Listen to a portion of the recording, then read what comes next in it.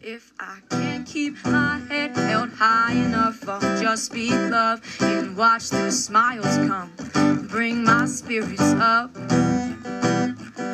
There's some shit I like to fix, but I still know that I'm blessed.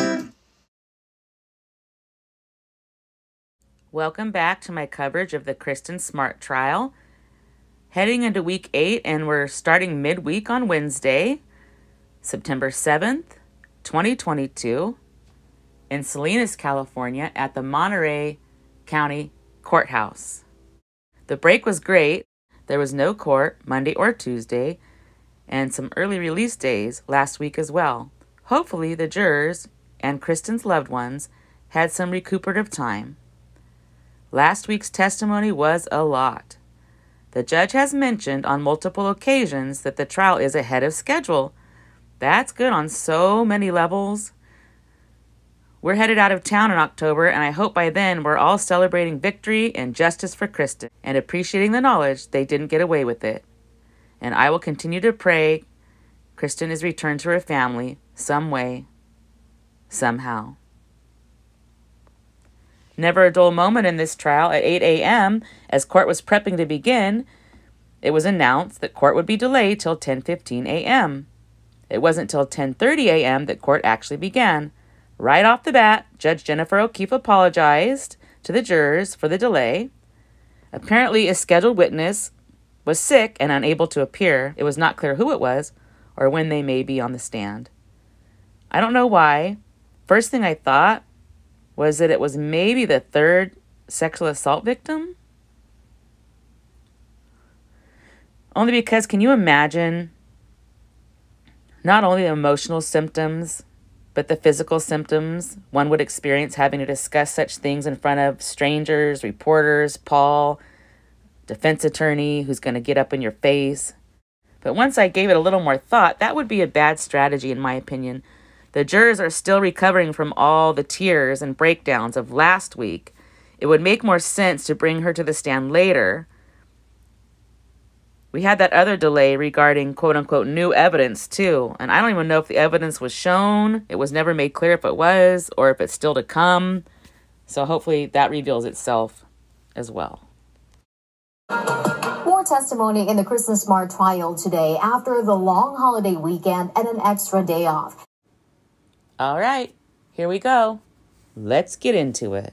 Jurors heard from a forensic specialist who helped look for clues where prosecutors say Smart's body was buried. First on the stand was forensic specialist Shelby Liddell. Hopefully, I'm pronouncing that right. She spent 90 minutes answering the prosecution's questions regarding two searches she participated in at Ruben Flores's home. The first search was March 15th of 2021, as well as the following day, March 16th of 2021, and the second search was April 13th and 14th of 2021. The prosecution reviewed Liddell's credentials and experience, similar to the others who were testifying as far as forensic evidence experts, those kind of things. You know how Sanger likes to go after them, so they always pre qualify and let the jurors know their expertise and how long they've been doing it and such. She has hundreds of hours of training in gathering, processing, and preserving evidence. She told the jurors about the grids laid out over the soil beneath the deck on the back of Ruben's house. She testified that once they started digging in the grid area, several areas with staining were noticed. Where the dirt was lighter colored but surrounded by a dark border. She went on to describe pictures that outlined the discolored areas and identified the depth. She described the slope and varying depths of staining from 2 feet to 4 feet below the ground level. She testified that they halted digging once they saw the staining in order to collect the soil samples as evidence. Digging resumed, and they saw more staining. The prosecution showed the court dozens of pictures of the excavation site showing the staining in the dirt. Quadrant A, B, then D and C showed staining, and she focused on the darker edges and collected as much as she could. She described how the evidence was collected with a special probe and stored in paper evidence bags to help control the moisture. The prosecution asked about April's search at Rubens, where an additional quadrant was laid after the deck was removed. Liddell confirmed this and explained that at that time, ABCD was assigned to a new grid and EFGH was assigned to the March search. She noticed staining went up the outer wall of the excavation nearest the outer wall of the house and on the opposite side near the inner retaining wall of the deck. Liddell continued with direct examination, and she testified that she also helped process evidence seized during the searches, including a cargo trailer parked on the side of Rubens' house. She testified that on April 14th, she observed a travel trailer parked on Rubens' cement driveway and a cargo trailer parked in the dirt on the side of the house. The side access door is shown in blue here. Coincidentally blue, and that will make more sense here in a bit. Liddell was asked about searching the white cargo trailer parked at Rubens. She said it was cluttered, filled with items. Side note, it reminds me of the Sarah Doe description of Paul's house, where she said it was quote unquote hoarding. The avocado doesn't fall far from the tree, does it? Just kidding. Get it? I gotta break the mental drain sometimes with this case. I hope you can relate. I know nothing about this case is funny. It's tragic as heck. Similar to my approach to life, don't let the heaviness of the world crush you. Live, love, and laugh as often as you can. Okay, sorry, back to the white trailer contents. There were tools, boxes, paperwork, file cabinets, storage racks, and sounds like just a bunch of crap. Which, in my opinion, was probably strategic. The investigators, of course, proceeded to clear out the clutter very carefully from the cargo trailer. Jury question, jury question. They wanted to know if officers wore booties when clearing out the trailer to prevent contamination. Sounds like someone's been watching forensic files to me. The answer was we put down butcher paper. If they had contaminated the scene with their shoes, we would notice it all over the floor rather than just in one area. The trailer was actually taken to the SLO Sheriff's Office crime lab where Blue Star, yes, Blue Star, it's like the new luminol, was used. It's a chemical that illuminates with presence of blood with a blue glow. She said the floor showed a positive reaction, but added cleaners such as bleach will also react, and animals on occasion also, but they react differently. It's slightly different. These tests were described in court as being used to identify for further testing and not considered conclusive by themselves. She testified that once Blue Star was applied to the floor of the trailer, after the clutter was cleared, of course, Hmm, side note. Nice try, Flores family. You can't bury evidence under your clutter and get away with it any more than you can bury Kristin and get away with it. Urgh! Makes me grumpy. The prosecution displayed the pictures on the overhead projector for the court. The portion of the floor that reacted to the blue star was cut out for further lab analysis. The area was a three foot section of plywood floor and screws from that area. Liddell described a slide pointing out the faint glow of blue. She combined the photos into a composite, making it easier to visualize. The prosecution asked her where the picture was taken, and she said it was just inside the access door to the cargo trailer. By the way, Liddell did confirm that photographs were taken prior to removing the clutter, and it was also revealed that the white travel trailer belonged to Mike McConville, Susan's long term boyfriend, even though she's still legally married to Ruben. With that, the prosecution wrapped up their questions just before noon, and court was able to recess for lunch. Since trial details can be scarce, I like to go back in time as needed to preliminary hearings. It really adds clarity to this case. Here's what was presented to the court in 2020 this evidence was collectively used to proceed to this trial, along with the rest of what we've heard and have yet to hear. Detective Cole who has testified as recent as yesterday, September 7th of 2022, was assigned to Kristin's case in 2017. He described the stain in the cargo trailer, actually revealed a stain, quote, similar to a human body, end quote. Hopefully they're using those words in court too. Like I said, I don't know everything that's being said, so I let you know it was said prior and then only stick to the facts as what's said now. But this is helpful, I think, to uh, connect the dots. So this reminds me of the description last week of the stainage and the hole resembling an arm and a hand. Remember that? Oh my gosh, that was so scary. And when I listened to that episode back, it sounded like I was laughing when I covered that, but I was actually, my breath was taken away basically. As you recall, there was an objection over that evidence which was sustained last week, which means the jurors aren't to even consider that evidence. So Cole went on to say in court in the preliminary hearing that no other areas reacted to the blue star except for that area in particular. He added that paints and varnishes also could uh, react to the blue star and other compounds. But just like Liddell said today, the reaction is different.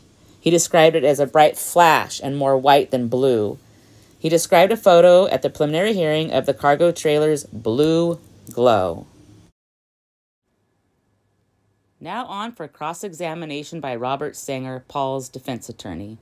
Predictably, Sanger did his best to belittle Liddell's credentials. I feel like that method has not served him well with other testimonies so far. It must be worth a shot to him, I guess, otherwise, he wouldn't keep doing it. And this was, of course, after lunch, and he came out like a bull. Here we go. Quote The first thing I want to do is put up this picture. And he pauses, which is 223. And for reference, that's the picture with the blue star reaction on the trailer floor, so you know what he's referring to. Continuing on with his quote. So we all left for lunch and ate our lunch, thinking this is a big blood spot. Do you guys think he's a little ticked off?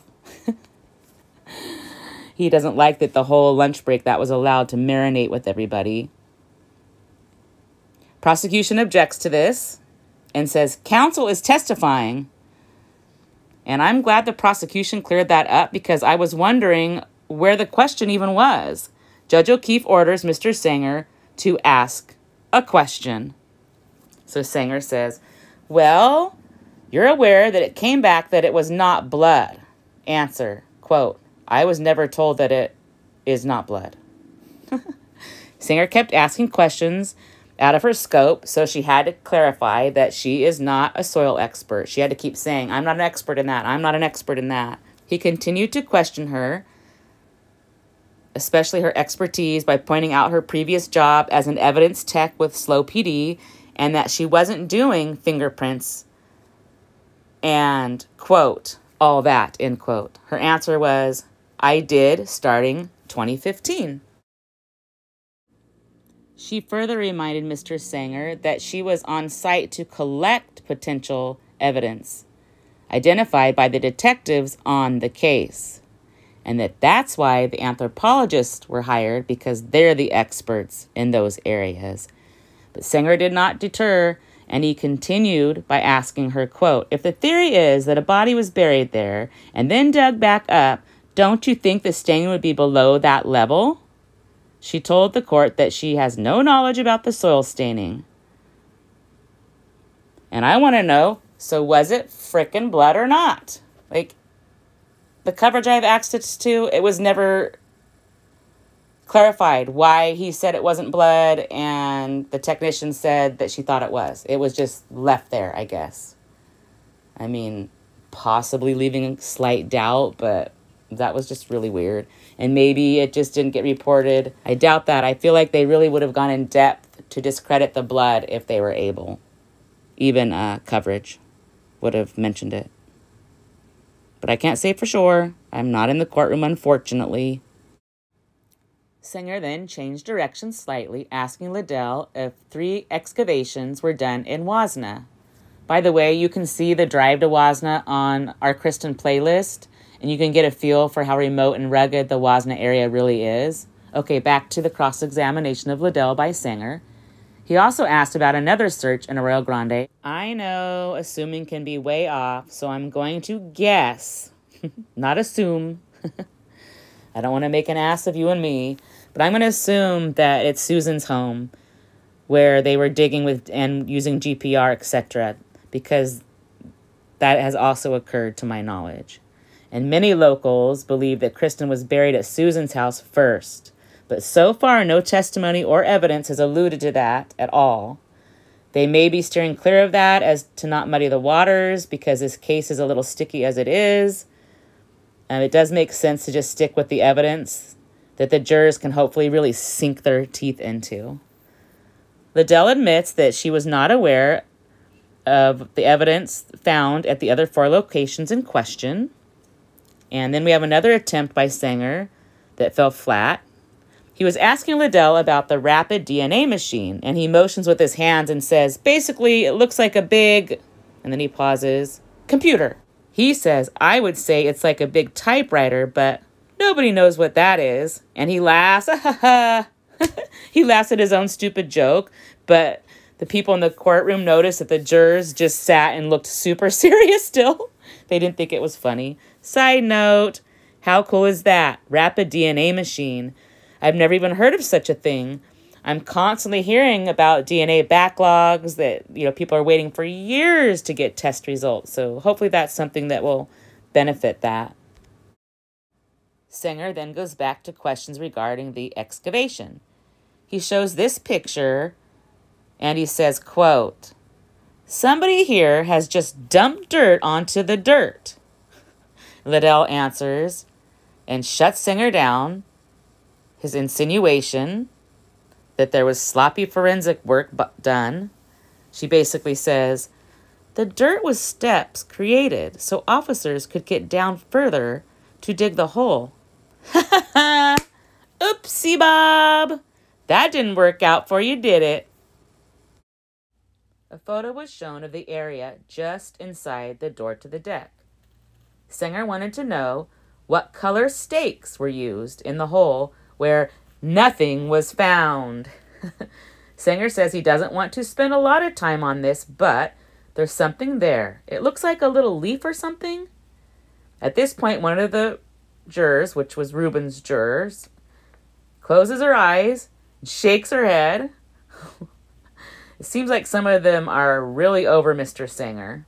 Then Sanger circles back again to the staining of grid number one, excavation number two. Question this stain would be below the level of the body, right?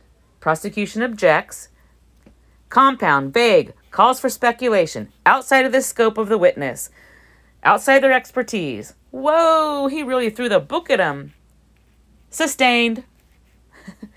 Sanger asked Liddell if she saw any evidence that the deck had ever been tampered with since the house had been built.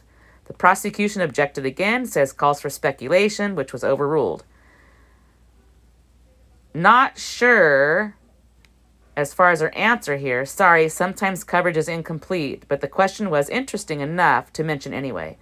Next question by Sanger. Well, you've been calling it a stain. What kind of stain is it? Answer. It's a clear discoloration of the soil, and that's beyond my scope of expertise. Sanger says, Well, you're an evidence technician. and uh, Chris Lambert used an explanation mark there, so he said it sassy, apparently. And he's getting aggressive. Let's see how that works out for him. Question. If the stain was dug out and put back in, it wouldn't just settle like this, would it? Answer. I'm not an expert in staining in soil. That's why we brought in an archaeologist. Geez, how many times is he going to ask her questions where she has to answer that it's not her expertise? It's lame. It's a lame strategy, in my opinion. The more I hear Sanger's questions, the more I feel like he is underestimating these jurors.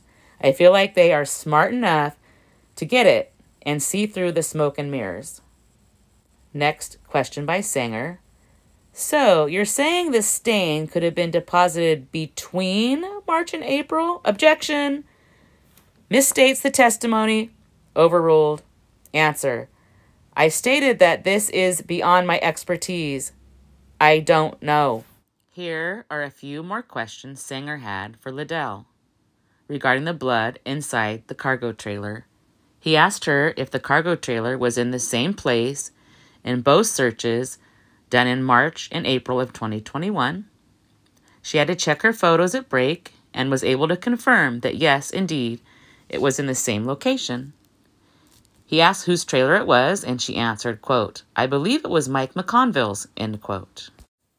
Now for cross examination of Liddell by Mesick, Ruben's defense attorney.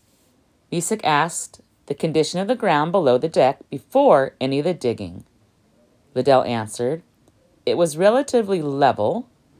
Mesick asked if water was added to make digging easier. She answered, No water was used. He asked Liddell how far down they dug before hitting compact soil, making digging difficult. The answer was about four feet. Next question What's the difference between a stain and discoloration? Liddell has to wait for Mesick to turn around. He was hunched over the projector looking through photos. When he does turn around, he asks a different question without even getting the answer to the previous question. I don't know why he, kind of cracks me up a little bit. It's weird getting to know all these personalities of these players as you are immersed in this trial for what, eight weeks now. Anyway, moving on. Next question was, What's that red discoloration over there? Liddell asked Mesick, You mean where the bucket was? Mesick says, Is that what it was? It looks like discoloration to me. And she says, It's an indentation. jury question, jury question. One question inquired about cleaning digging equipment, wanting to know if it was clean between when the samples were collected and if the probe was cleaned prior to sample collection. The answer was the tools are cleaned between searches, but not during a search itself. Side note, that actually was a good question. My first thought is that was a juror I deemed had an engineer brain because he or she asks questions where A, it's clear they are paying close attention, and B, they are truly thinking through what's being presented in court. She also answered that multiple probes are used for samples under the deck and also for the control sample from other areas of the White Court property, Ruben Flores' home. Mesick asked Liddell, You're not aware of the results of any of the testing? Answer, I heard about one. I believe it was sample 776. Did you collect any roots for analysis? he asked. Answer yes, if they were inside the soil samples, but she did not specifically collect roots, she said. Prosecution was back again for redirect. He asked about the March excavation of grid 1, excavation number 2. He wanted to know how long did it take to dig 2 feet down? She answered, maybe an hour or more. Question, did they appear to be digging carefully and relatively slowly? Answer yes. And then Mr. Sanger was back for recross. Question At the preliminary hearing, do you remember testifying that the staining had not been disturbed? Answer That particular stain, because it was a complete outline and did not appear disturbed to me while I was collecting it. Sanger's question next was Did you discuss this answer with the prosecution or anyone at the DA's office? And she answered, They provided me with the transcript of my preliminary testimony, and I realized that I hadn't been clear with that answer. Sanger sighs, and it was loud enough to be heard. And then he asked for a sidebar. He's being piss- Mr. Pissy Pants. Then, when he came back, the next question was, Did you write a report regarding your change in testimony? And she answered, My clarification of testimony? No, I just had a chance to review the transcript for this week. Liddell was finally excused at 3:51 p.m. Wow, what a long day for her. Judge O'Keefe makes an announcement. Ladies and gentlemen, we have a very full day tomorrow and we can't start till we have everyone here. Please be here at 10:25 a.m. after the jurors are excused, Judge O'Keefe adds for the record that she received a juror question wanting a rough estimate on completion of the trial. All parties agree to leave it at, quote, we are ahead of schedule, end quote. I would love for this to be over this month. Ending in victory with justice for Kristin. Apparently, a juror is ready to be done too. Court will only be in session Wednesday and Thursday this week. From there, court is expected to be back in session on Monday, September 12th, and Judge O'Keefe maintains that they are still on schedule despite continued delays. All right, time for some tidbits. Someone had requested from Chris Lambert, who's at court every day, in case you didn't know that. He's my main resource. I appreciate him immensely. But someone wanted to know the arrangement in court, so he was nice enough to give us a little chart here. He said it's not to scale or anything like that, but it definitely gives a basic idea of how everything's laid out, where people sit, and that kind of thing. So thanks again, Chris. Apparently, Judge O'Keefe modified the gag order again after the latest motion by the Media Coalition. We've been waiting for Judge Jennifer O'Keefe's ruling, and on September 1st, uh, an order was filed actually with the court. It was basically naming all parties involved, such as attorneys, prosecutors, defense attorneys, investigators, law enforcement clerks, bailiffs, witnesses, judicial officers, and employees, any agent, deputy, or employees of the persons listed, basically anyone involved in the case. They're basically not allowed to discuss any of the happenings of the court. So that's not really new. I don't know why they filed that on September 1st. One of the comments says, protecting the SA victim, I assume? And, and another comment said, Would Susan fall in any of these categories? And someone answers, Yes, she's listed as a party on the court website. I wondered the same thing. And I also wondered about this as far as why only Ruben's name is on the paperwork and not Paul's too. And I guess the same thing they did I also was wondering about Chris Lambert. I, I'm guessing that because he's a journalist, but also a witness, that he's still permitted to attend and speak on what he observes in the courtroom.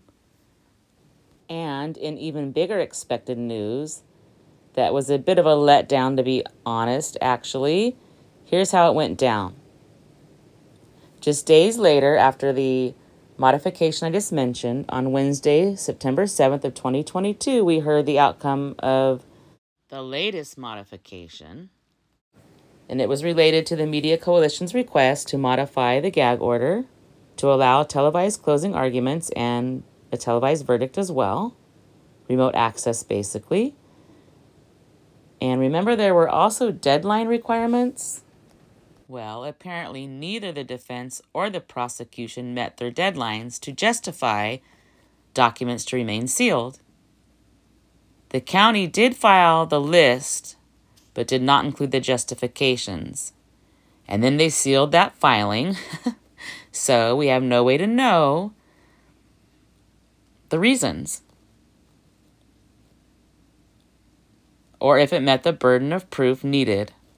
The defense didn't even provide a list. The prosecution argued revealing justifications would jeopardize information it wants to shield from the public eye.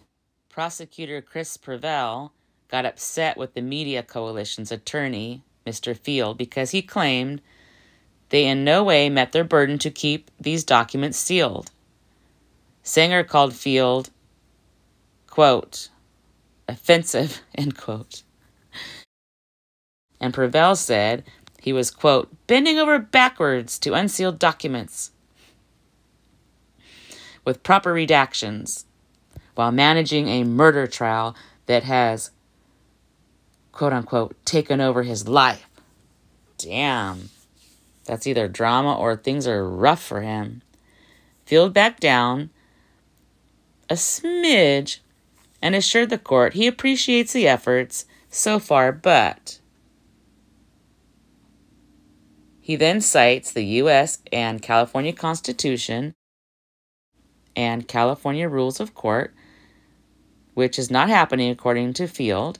He mentions the First Amendment, and there must be an overriding interest that outweighs the public's. First Amendment rights. Field says the burden has not been met. Judge ruled the court will continue to unseal documents as soon as possible, but denied the motion to immediately unseal all remaining documents. Sanger actually called members of the media coalition, the entertainment industry, the infotainment industry, and maybe news. He says a gag order should remain to protect his client and his father. Sanger says he wants Paul tried in the judicial court, not the court of public opinion. Oh, brother, that so reminds me of the stupid little cards that Susan Flores used to hand out to the media if they approached her. And one of the lines said that uh, it shouldn't be tried in the court of public opinion. Well, she got her wish because it's in court now. I am not sure what the other decisions were regarding the remote access at closing arguments and the verdict. If it was granted, I feel like it would be all over the news. I am not assuming anything here, though. Maybe that ruling is pending. So there's been several modifications, and one was done on this date listed here, September 2nd. But currently, my records show the ruling should have been on September 7th. And today's date, as I'm prepping this, is September 9th. So maybe there's still hope, but so far there's nothing being publicized. We're just going to have to wait and see.